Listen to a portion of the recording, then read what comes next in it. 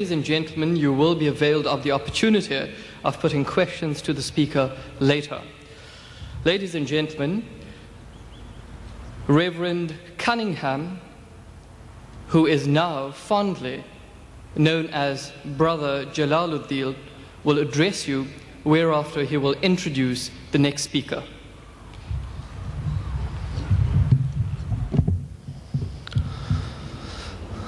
Assalamu alaikum. Before I start saying what I have to say, if anybody wants refreshments, they're on my right at the back, they are available to you. Alhamdulillah, that means all praise is due to Allah. I am a revert. You may wonder what that is. Every child is born a Muslim.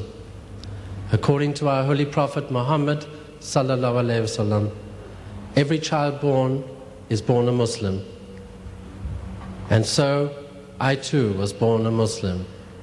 But sadly, my folks, my parents, who didn't know any better, taught me the faith of their fathers. They taught me Christianity. And I came to love the church that I belonged to. I came to respect them. And I was raised up a Christian.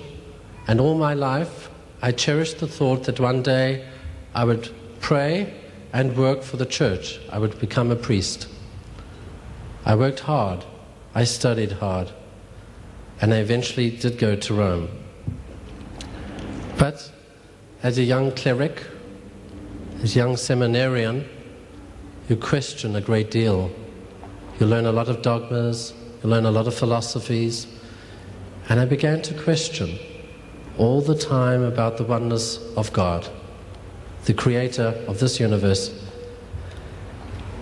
But I still did not get enough information.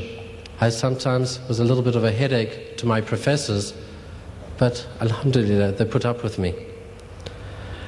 On my return, after my ordination to the diaconate, I came back to South Africa, and one of my dearest friends was not at the airport to meet me. I was a little surprised and naturally disappointed.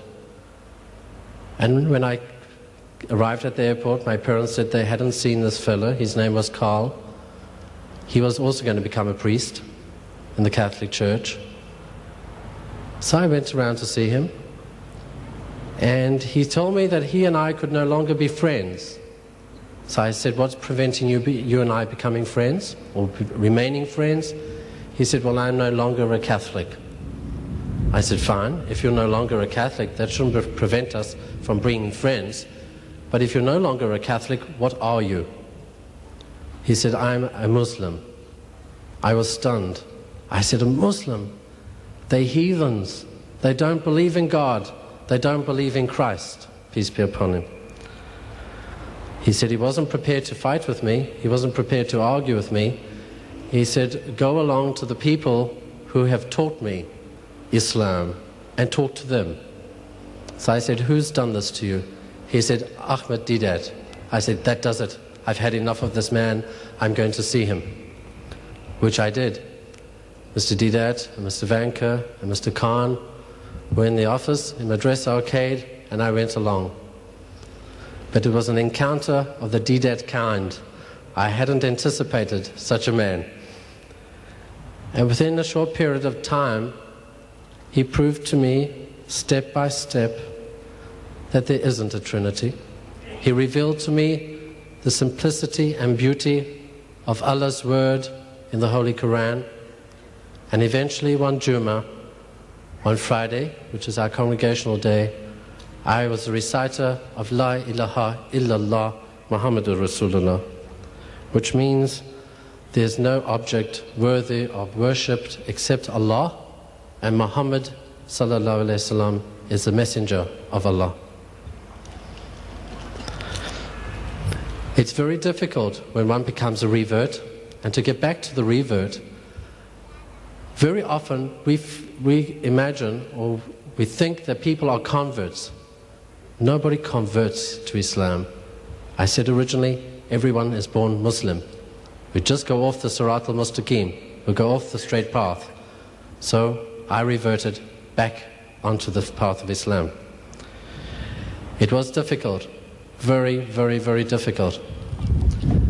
The community I had left were not too happy with me. My family persecuted me. But it's understood. I think if I had a son or a daughter and they were to revert to another religion or convert other than, uh, to another religion other than Islam, I would naturally be upset. But Alhamdulillah, I found a new life in Canada. I went to live in Canada for a time and started a new practice. I had new friends. I had this new religion. But I was destined to come back. But in all this time that I was away, I wasn't practicing this new religion, this Islam. I was a Muslim. I'd recited the kalima, but I wasn't practicing it. But now, Alhamdulillah, I'm a five time namazi. That means I make my salah five times a day. And I'm full time with the Islamic Propagation Center. I'm a missionary for Islam.